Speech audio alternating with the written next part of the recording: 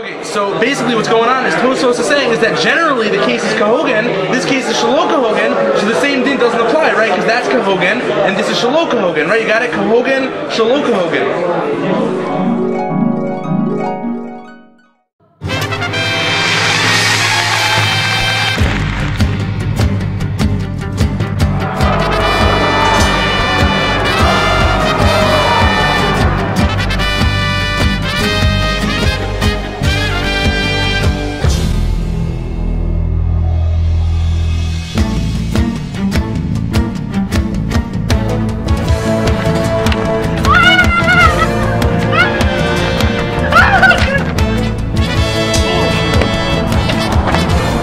What you gonna do, brother?